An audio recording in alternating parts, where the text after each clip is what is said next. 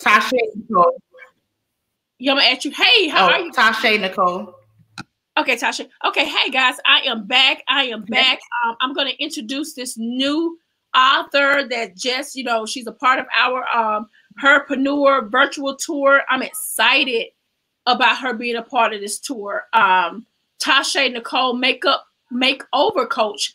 Taisha Nichole will be joining us on the live. I just want to um, introduce her. We're gonna find out what she got going on, her new book that's going on, um, all the other things that she got going on, so we can get very familiar with her. And guess what? Go buy her book, guys. Let's support her. So I'm gonna bring her on now. Let's add her to the group. Hey, pretty lady, how are Hello, you doing? Today? Good. How are you? I am doing so great. So tell everybody who you are, uh, where you're from, the name of this great book, and why did you write this book? Um, I am Taisha Nichole. I am the makeover coach, and I am originally from Canton, Ohio, by way of Ohio, and I currently live in Charlotte, North Carolina right now. And so I um, I wrote my book simply because it was a, a healing process for me. It was something that um, I felt that it needed to be out. It was my story, and it was basically, and it's called Silent No More because what I was doing was I was unmuzzling myself from being silent about things that have happened to me and things that I had going on and experiences that I've had being a single mother, being married, being um, you know, going through a divorce and all of that. So, and I just felt like certain, certain things needed to be voiced, certain things needed to be said. And um, I basically did it where it was almost like a healing because I'm, you know, still healing from some things, but I did it more or less where it was a healing, um, like affirmation type book, where if you read it, um, it has different affirmations and different quotes and all, all of that, so that it can help you to heal as well from whatever it is that you're going through, whatever um, topic that you might be able to fit into your life.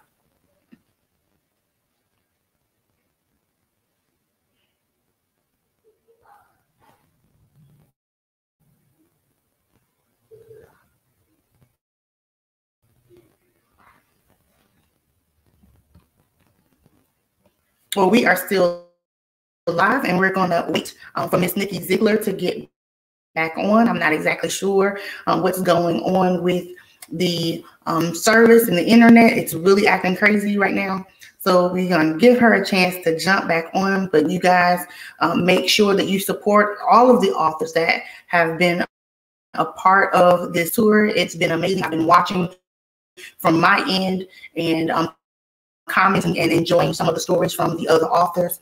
So I am super excited about even having this opportunity to be a part and um, to be on this wonderful tour. I'm super excited about it. So again, we're going to kind of allow Miss Zeigler to um, jump back on here um, whenever she gets her um, things situated. Here, here she goes. She's back.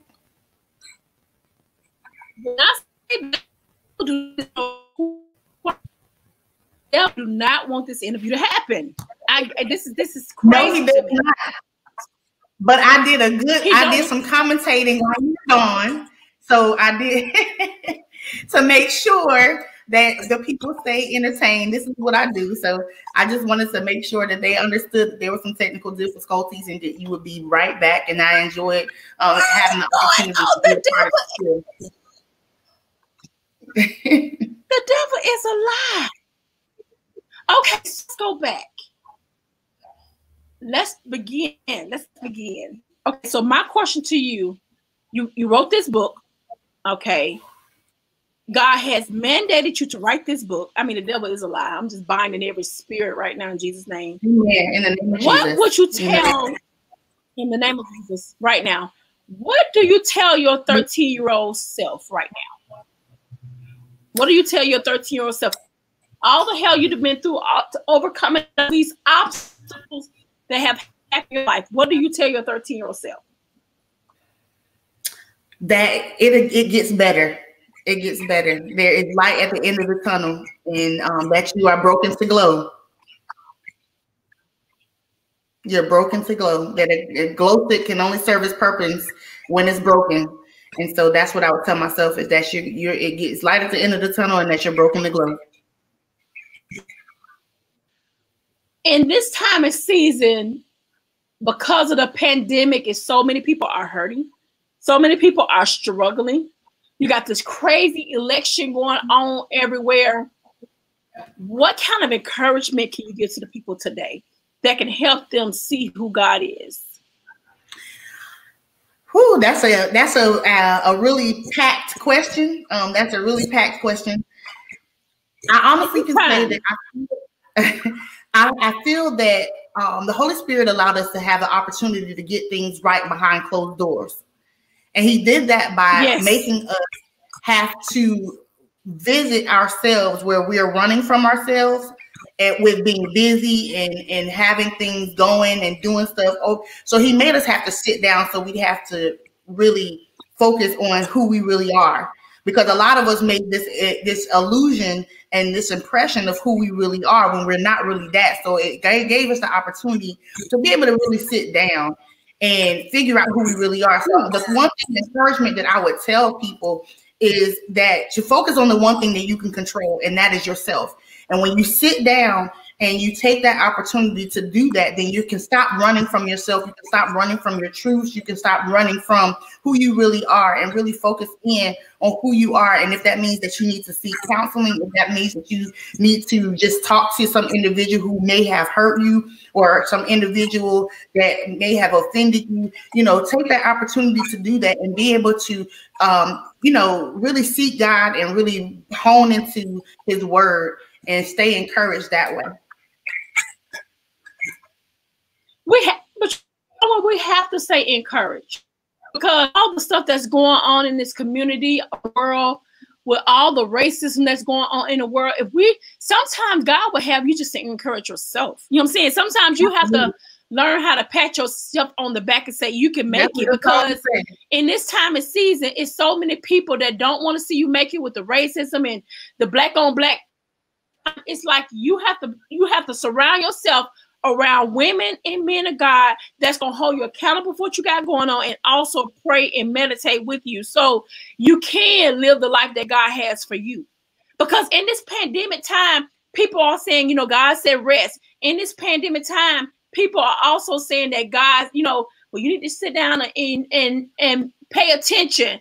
But I think in this time of season, God also is birthing a lot of new people. Like even you, I know God showed you some things this 2020 year that make you Absolutely. think about, oh man, I never thought about this. Like he has thinking. And that's crazy. Thinking. That's the crazy you. thing. Yep. Yep, and I was about to say that's crazy that you said that because um, the women's conference that I just did um, in October, at the end of October, that was the topic was, or the, excuse me, the theme for the conference was hearing the vision clearly. And so it's based off of Habakkuk 2 and 2, where it talks about writing the vision and making it plain. And I was saying that we have to hear God first before we can write the vision.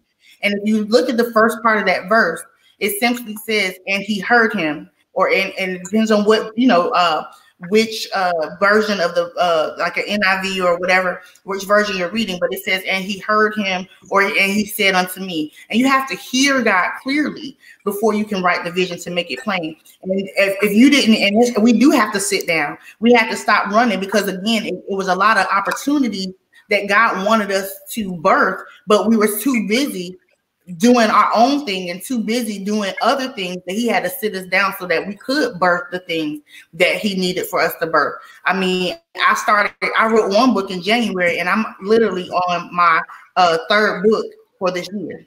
So, yes, God, come on through. Yes, I love that. My question what do you tell and inspire who wants to write a book and don't even know where to start? What's what's your advice to them? My advice is to definitely figure it out what you want to write about. If you're writing about your life, make sure that you are genuinely ready to talk about it. Um, because if you're not ready to talk Come about it, you know, people can write about it and they want to they write it in the bitterness, they write it in unforgiveness, Um, and then they honestly end up having to go back and once they read it, I've heard several times people say, I've read what I wrote before and I don't even want to advertise it and I want to unpublish it because I, I realized that I was writing out of anger and I don't want it to be out there anymore. So when oh, you're wow. writing, make sure that you're writing it um, from a place of forgiveness, from a place of not being bitter, and make sure that you really want that story to be out there. Because once it's out there, um, then it's out there, and you can't not take it back once those words are out there. And so, just make sure that you're in a, in a at least being healed or in a healing process when you are writing. That would be to That's me good. the very first. That's good. The very first part. So, oh, what is your why? What would be your why? My why, honestly, is just to be effective and to serve and do kingdom business. That's it. My why is kingdom work, kingdom business, being kingdom minded and genuinely um, what they say the the marketplace ministry is what we um, should be mm. focusing on right now. And I feel like, again, going back to the pandemic, is that's what we've had to focus on now is being marketplace ministers and being able to be in the marketplace because um, he took us out of the four walls. And I think that that would be my why is to focus in on being um, in that marketplace to do what it is God has called me to do. Wow. And it's, you know what? It's so it's so important to know what God has called you to do. It is because sometimes we can be so out of God's will that we will do justice and we will hurt people who God, you know what I'm saying? We just gotta listen. We gotta hear his, we gotta be in his will. We gotta seek him first. Every step we make. Like you, I never thought about that. I don't know how many people have wrote books and God never told them to even write books. How many people have wrote books and God never told them? I mean, like they out of order. How many women? That's something to think about. Absolutely. Yeah, I'm here. Yeah. It's like you go in. I gotta I, we gotta redo this interview because this is good. This is good. this is good. Ooh, that's why they want us to because you're talking about some stuff I never even thought about. No, out of everybody, I've interviewed 90 authors. No one never said it was people who have wrote books that did it out of emotions. I've never heard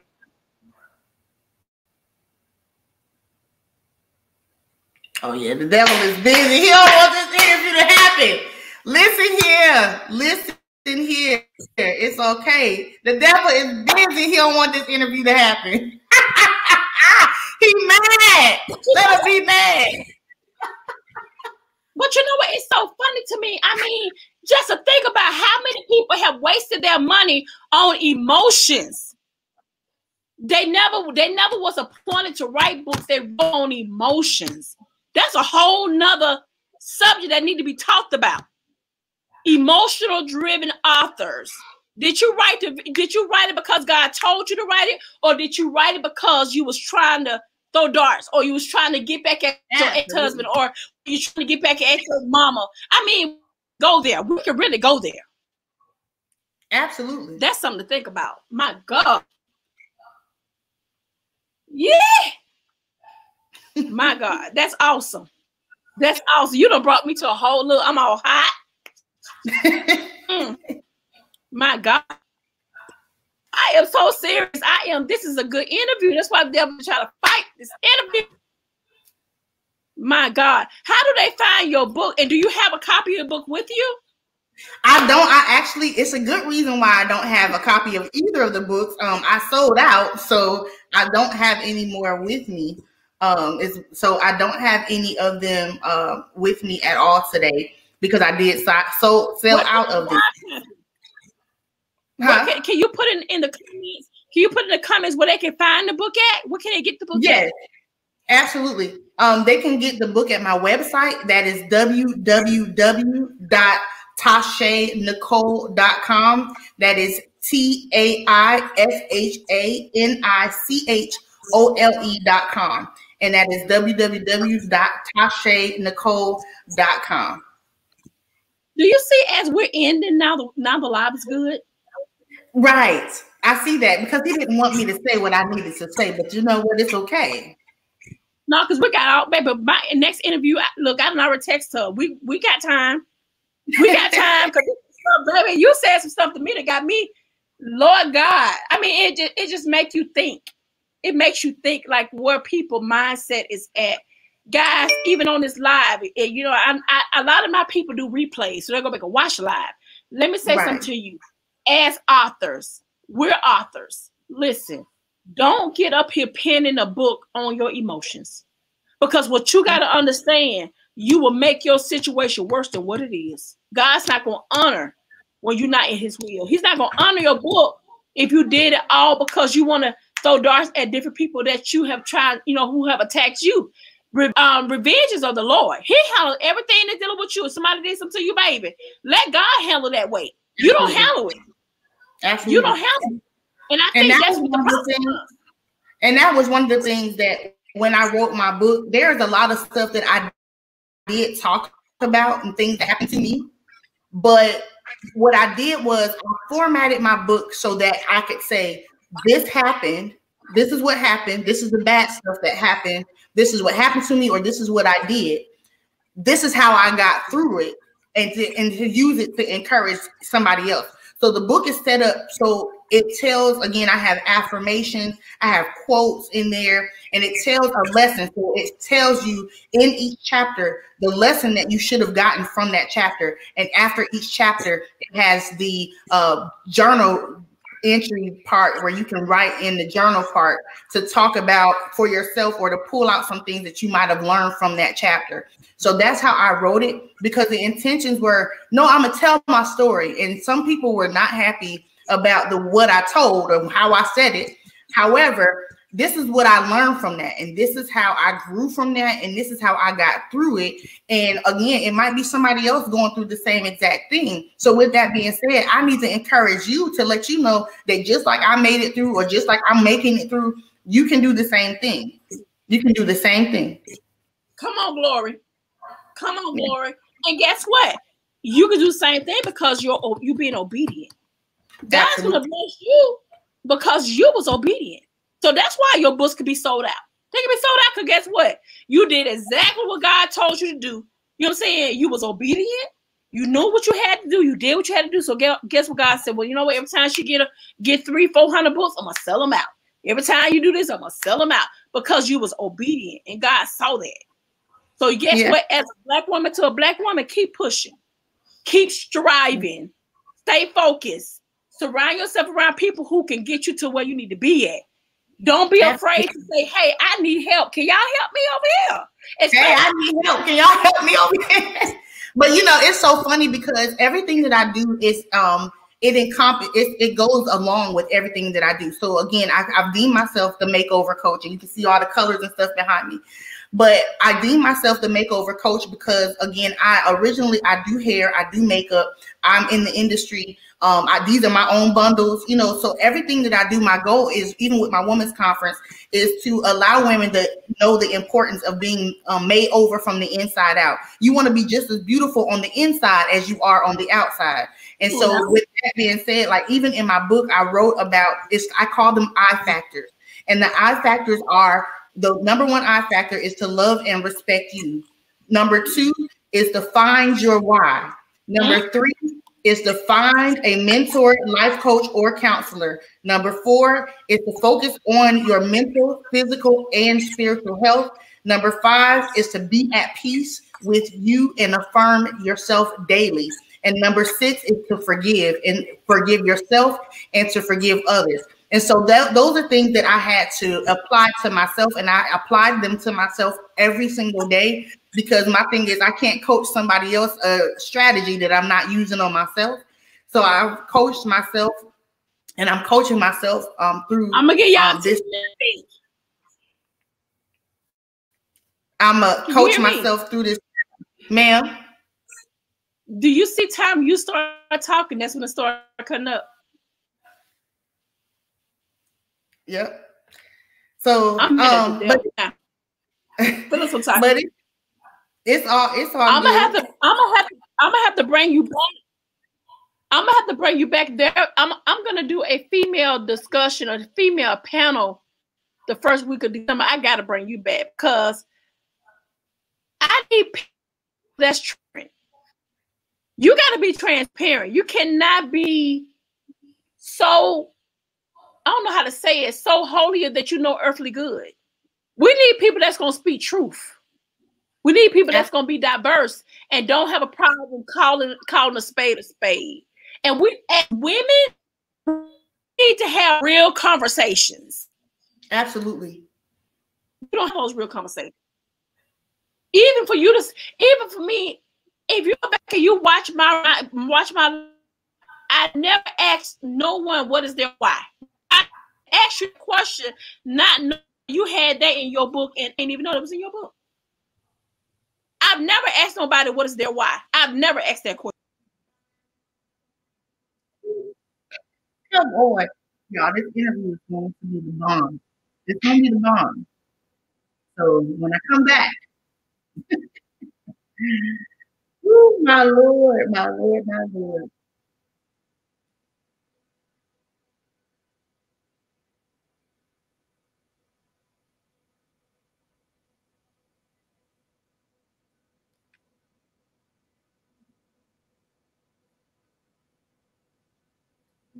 Stuff that's gonna crack some head. Gonna be about if you're not take the next level. I'm just saying now. I'm I won't change. I want to be around around who gonna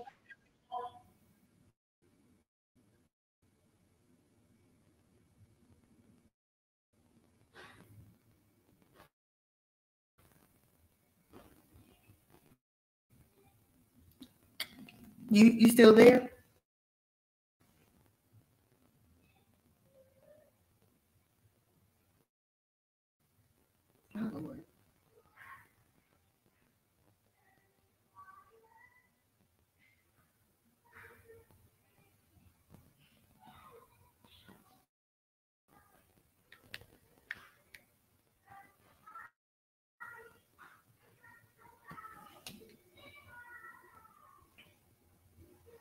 Y'all, the enemy does not want this interview to happen. He doesn't want this interview to happen. I don't know what it is. Lord, when I tell you that he is a liar, the devil is a liar. The devil is a liar. God is exalted and Jesus is Lord. I bind this interview. Lord God, I ask you to come into this place. I ask you, I, Lord, I bind the spirit. Lord, we thank you, Lord. The devil did thank you, Jesus, God. In the name of Jesus. Lord God, in the name of Jesus. Cover this in Jesus' name. Yes, cover this whoever in the name of this woman, God. Whatever your her will is for your life, Lord God, you just give it to her, Lord God. No weapon formed against us shall prosper. Says your name, Lord God. Let her open up her mouth and speak. And when she speak, Lord God, she's tearing down every stronghold. Lord God, I know she's special because I've been 107 women, Lord God, in 5 days, and no one has act like this.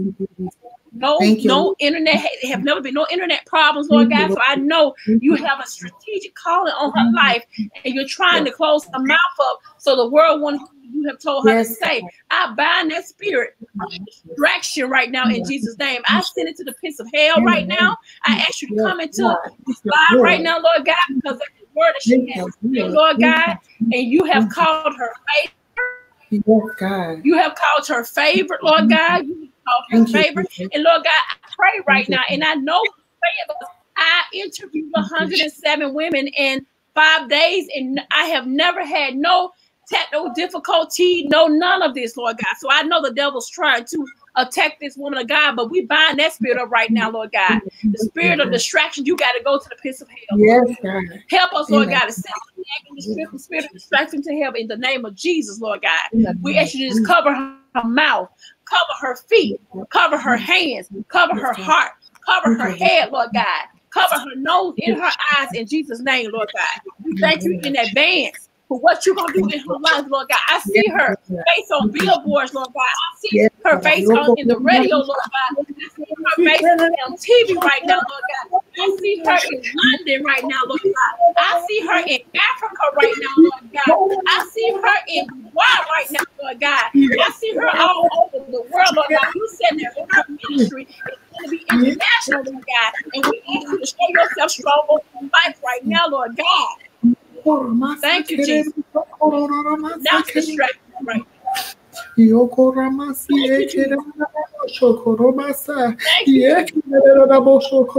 Hallelujah. Hallelujah, Lord God. Hallelujah, Lord God.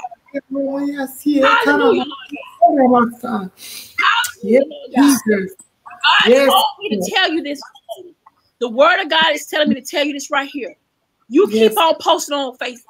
I don't care if you get two likes. They watching. They receiving. They watching your page. They're not liking your page because of the, the they're intimidated about your spirit man. But you keep on, you keep on posting, you keep on speaking, keep on living the word of God because the the more you you knocking down the strongholds that has been a, a, against your generation where people have put their mouth on you. They put their mouth on your family. They have put your, their mouth on your business. But god got you covered by the blood of jesus. That's why he didn't want you to speak today. But god already said that he made you before you even born into your mother. He was and that's in Jeremiah. He already knew who you was. That's why the devil tried to fight you. But you hmm. got to keep going. Don't worry about the lights. Don't worry about the shine. God said he shall get your humbleness.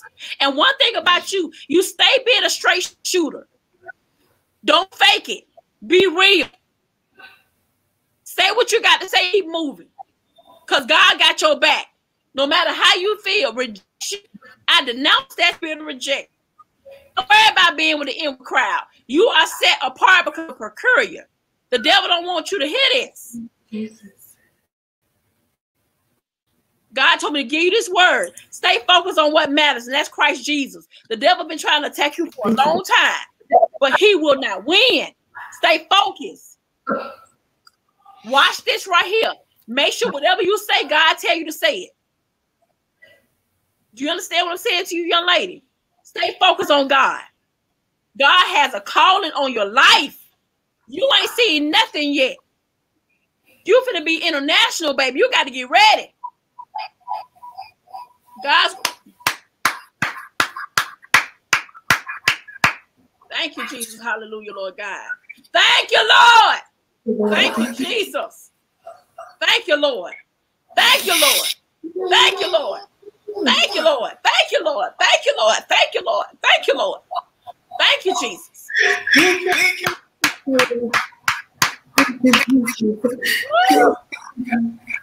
Powerful woman of God. This had this assignment had nothing to do with this herpreneur boot. Oh my God. This assignment had nothing to do with this daggone book tour. But you had to get your word, and the devil didn't want you to get it, so he played you. He didn't want you to get back on here. He tried to even take you off the off the tour. He tried to take you off the tour. But God had another plan for you. Man, girl, you listen to me. You are called and appointed. Called and appointed. Thank you, Lord. Bless your name. Focus, baby. Post. Post. Speak. Do lives. Speaking to these people live, they need to hear you. It's some stuff that you got to tell some people. Don't you hold back on them. You give it to them. Because if you don't, God gonna look at you. You got to be obedient. Obedient is better than sacrifice. You got to be obedient. Lord, have mercy, Jesus. Thank you, Lord. I Lord, I praise you on today. Oh, Jesus. Didn't know why this gonna happen. Didn't know what God was doing, but He was up to something. He knew it. That's why he didn't want the devil did not want you on this live because he didn't he didn't want you to hear what God had for you. Don't you worry about the naysayers. You're supposed to be different. And you be careful who you connect your name to. You be careful who you connect your power source to. Your power source is in Christ Jesus. They ain't got nothing to do with man. Amen. Do you understand what I'm saying to you, woman of God? Yes. Lord God, thank you. Thank you, Lord. Lord, I give you all praise. Yes, Lord, God. I give you all the glory, Lord God.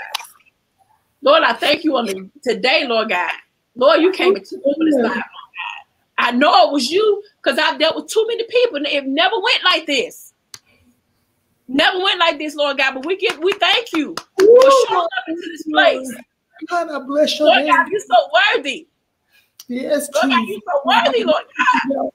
Yeah, come on, on, on, Romasi, que pasó por Ramasi, yeah, no, no, no, Romasa, yeah,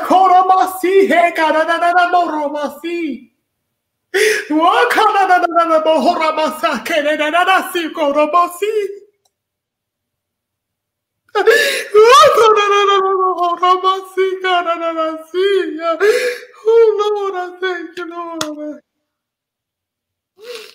God, you're worthy. God, you're so worthy. God, I thank you, Lord. God, I bless you. I bless your name, Jesus.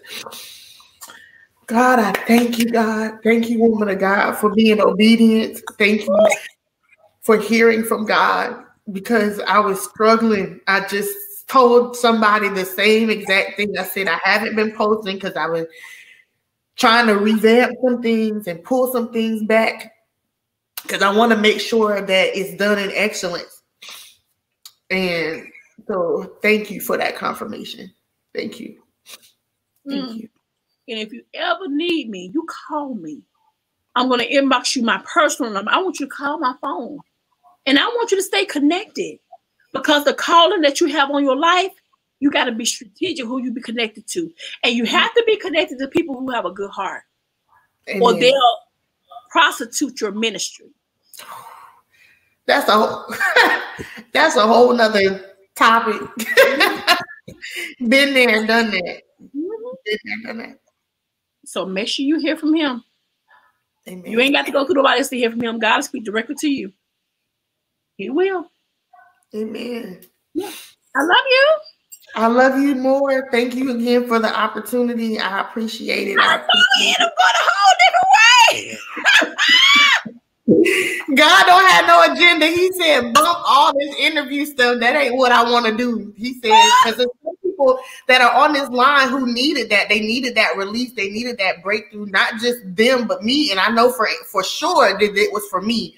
Um, it's a lot of different things. So I know that someone else on this line needed to get that breakthrough, that blessing, and they needed to hear.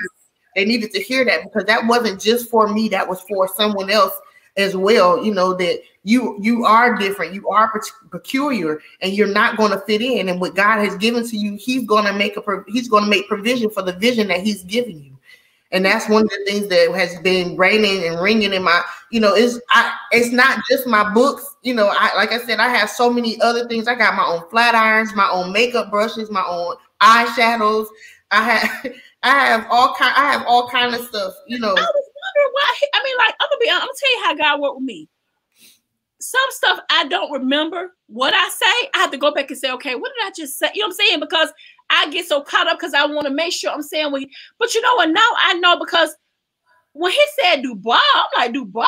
She gonna go to Dubai. Like, what is going? Girl, when I say a boss mindset, see God. Let me tell you something. You're gonna have to pour back into other people. You got to do it. God doesn't give you this kind of knowledge for you to hold on to. And the struggle that you've been through, it wasn't even about you. You went through the struggle and the process to help other people that go down the same road. You know why I can say that? Because I've been through it. You're different. You're different. You, you don't think like everybody else. You're a big, you have a business mindset. So with that business mindset, you always trying to figure, okay, what's next? What's going? What we doing next? You know what I'm saying? Okay, God, got this. No, okay, got got to do this. Got to do this. Got to. God is working all that thing out. And I see an empire. I don't see just the flat irons. I see a full empire. But God wants you to specifically deal with Christian women, those who are broken Christian women. They know of Him, but they don't know their power source. Absolutely. So You're He gonna have. Ain't nothing wrong with speaking God in Jesus Christ when you doing hell. Ain't nothing wrong with playing your gospel music while you're doing makeup. Ain't nothing wrong with talking about God into your classes that you're gonna start training people on. God is going to strategically plant you in places that you ain't never seen before. I promise you, when it happens, just you know what I'm saying, just wave at me, say, Coach Nikki, God, pray for me, child. and tell me what you need me pray for, and we're gonna be on one accord. Because where two or more gather in the name, He is in the midst. He is in the midst. Amen. Amen. Absolutely. You enjoy the rest of your day. You if do you need, I am here. Amen. Amen. Take care, woman of God. You too. Have a great one. You too. Bye. Oh, we're ready for that one. My God, I can't do nothing but shake my head. I promise you, God show up in this place today. Okay, guys, see y'all back at 4:30. My God, that was the most that was the most